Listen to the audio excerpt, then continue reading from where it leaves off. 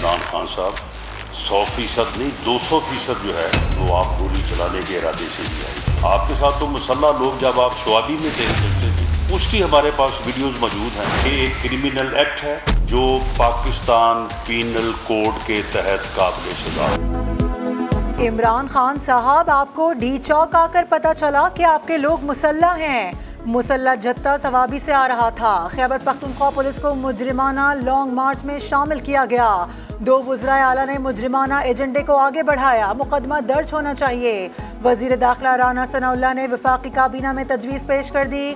कहा मुलविस अफराद को गिरफ़्तार किया जाना चाहिए। इमरान खान का मार्च सियासी सरगर्मी नहीं, मुजरिमाना फेल है। विफाकी काबीना ने राना सना की सरबराही में मुसल्ला एहतजाज रोकने की हमत अमली के लिए पाँच रुकनी कमेटी बना दी। इमरान खान जिसे जिहाद कहता है, वो फसाद है और इसे रोकना एन जिहाद है। ये ज़्यादा ख़तरनाक है क्योंकि इन्होंने सियासी नकाब ओढ़ रखा है। मरियम नवाज़ ने इदारों से सवाल कर दिया, क्या ऐसे दहशत गर्द को खुली छुट्टी मिलेगी? अगर इमरान खान ने फसाद करना है तो पाकिस्तान रद्दुल फसाद के लिए तैयार है। वज़ीर दाखिला इनके सामने दीवार बनकर खड़ा है। राना सनाउल्ला आज पूरे पाकिस्तान के हीरो हैं। इमरान खान का मलिक रियाज और जरदारी के दरमियान गुफ्तु से लाताल्लुकी का इजहार। डिजिटल मीडिया के नुमाइंदों से मुलाकात में इंकशाफ किया। अमरीका की जेर असर लॉबी मुस्लिम ममालिक से इसराइल को तस्लीम कराना चाहती है। बरतानवी टीवी को इंटरव्यू में कहा, नहीं चाहता कि इस्लामाबाद में लोग जमा करके दोबारा इकतदार में आऊँ। हम इलेक्शन चाहते हैं। अवाम को फैसला करने दें। किसी गिरोह या जत्थे को कानून हाथ में लेने की इजाज़त नहीं दी जा सकती। हुकूमत पंजाब ने भी मुमकिन मार्च से निमटने के लिए कमर कस ली। वज़ीर अला पंजाब की 25 मई को कानून हाथ में लेने वाले अनासर के खिलाफ बिला इम्तियाज़ कानूनी कार्रवाई की हिदायत। कहा, रियासत के रेट को चैलेंज करने नहीं दिया जाएगा। अता तारड़ ने तहरीक इंसाफ को खबरदार किया कि सरकारी असलहे के ज़ोर पर बलवा करने की इजाज़त हरगिज नहीं दी जाएगी।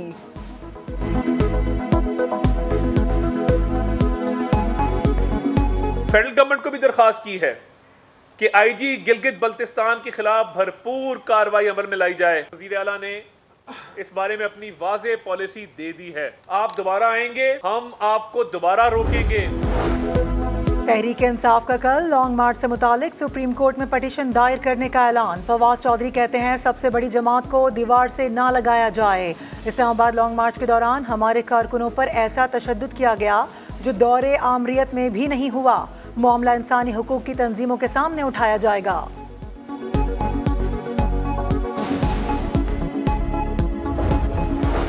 वज़ीर आज़म शहबाज शरीफ तुर्क सदर की दावत पर अनकरा रवाना हो गए। तीन रोज़ा सरकारी दौरे में बरदर मुल्कों के दरमियान दो तरफा मामला तजारत और सरमाकारी पर तफसीली गुफ्तु होगी।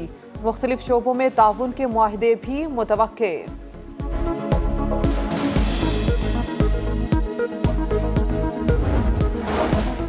विफाकी वज़ीर दाखिला राना सनाउल्ला के खिलाफ मंशियात बरामदगी केस 25 जून को फर्द जुर्म आयद की जाएगी। खसूसी अदालत ने राना सना की प्रॉपर्टी और अकाउंट्स बहाल करने पर ए एन एफ़ से जवाब तलब कर रखा है।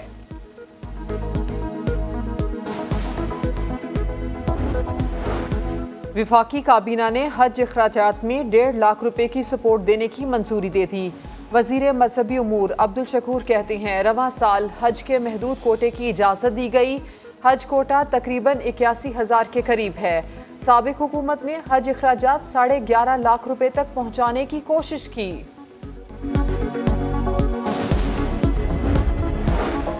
अवाम पर महँगी बिजली का एक और वार। नेपरा ने एक माह के लिए बिजली तीन रुपये निन्यानवे पैसे फ़ी यूनिट महँगी कर दी।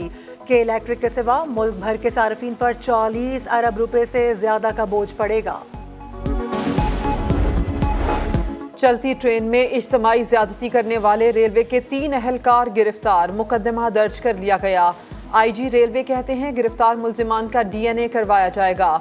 मेडिकल रिपोर्ट के मुताबिक तीनों मुलजिमान ज्यादती में मुलविस हैं। हर ट्रेन में कैमरे लगाने पर भी ज़ोर।